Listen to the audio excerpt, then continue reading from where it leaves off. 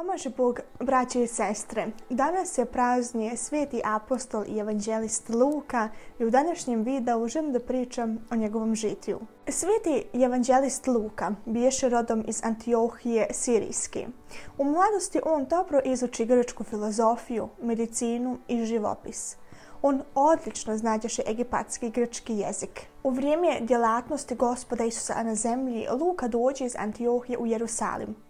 Evanđelist Luka silovaše Hrista. U posljednje dane zemaljskog života spasiteljevog sveti Luka se nalažaše u Jerusalimu, tugujući i plačući za gospodom svojim, Njegova žalost ubrzo okrenu na radost, jer vaskrsli gospod u sami dan vaskrsenja svog javi se njemu kada je s Kleopom išao u Emaus. Po silasku svetoga duha na apostole, sveti Luka ostade neko vrijeme sa ostalim apostolima u Jerusalimu, pa krenu u Antiohiju. Iz Antiohije sveti Luka otputova tek kada posade saradnik i saputnik svetog apostola Pavla. Tada sveti Luka otputova sa apostolom Pavlom u Grčku na propovijed Evanđelja. Sveti Pavle ostavi Svetog Luku u makedonskom gradu Filipi da tu utvrdi i uredi crkvu. Od toga vremena Sveti Luka ostade nekoliko godina u Makedoniji propovjedajući i šireći hrišćanstvo. Kada sveti Pavle pri kraju svog trećeg apostolskog putovanja ponovo posjeti Filipu, on posla svetog Luku u Korint radi skupljanja milostinje za siromašne hrišćane u Palestini. Skupivši milostinju, sveti Luka sa svetim apostolom krenu u Palestinu, posjećujući usput crkve koje su se nalazile na ostrovima arhipelaga, na obalama Male Azije, u Finikiji i Judeji. A kada apostol Pavle bio stavljen pod stražu u palestinskom gradu Kesariji, sviti Luka ostade pored njega. Ne napustio on apostol Pavle ni onda kada ovaj bio upućen u Rim na sud Česaru. U Rimu je sviti Luka napisao svoje evanđelje i dijela svetih apostola. U Evanđelju on opisuje život i rad gospoda Isusa Hrista ne samo na osnovu onoga što je sam video i čuo, nego imajući u vidu sve ono što je predaše. Prvi očevici i sluge riječi. U ovom svetom poslu svetog Luku rukovodješe sveti apostol Pavle i zatim odobri sveto evanđelje napisano svetim Lukom.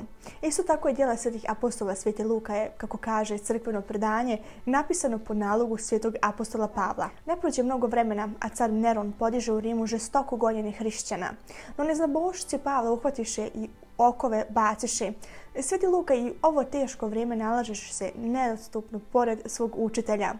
Poslije mučeničke končine apostola Pavla, Sveti Luka je propovjedao gospoda Isusa Hrista u Italiji, Dalmaciji, Galiji, a naročito u Makedoniji. Sveti Luka je prvi živopisao ikonu presvete Bogorodice sa Bogom mladencem gospodom Isusom Hristom na njenim rukama. I tako sveti apostol i evanđelist Luka postavi početak divnom i bogugodnom dijelu živopisanja svetih ikona u slavu Božiju, Bogomatere i svih sveti. U starosti svojoj sveti Luka otputovo Egipat radi propovjedi evanđelja. Tamo on, blagovjesteći Hrista, pretrpe mnoge muke i izvrši mnoge podvige. Vrativši se u Grčku, Sveti Luka ustroji crkve, naročito u Beotiji, rukopoliži sveštenike i đakone, iscijeli bolesne tijelom i dušom. Sveti Luka biješe 84 godina kada ga zlobni idolopoklonici udariše na muke. Hrista radi objesiše o jednoj maslini u gradu Tivi. Često tijelo njegovo bi pogrebeno u Tivi, glavnom gradu Ebetoje, gdje od njega bivahu mnoga čudesa.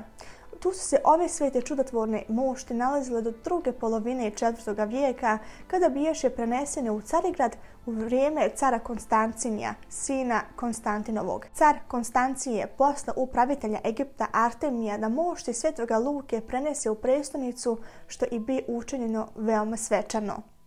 S praznikom. Amin.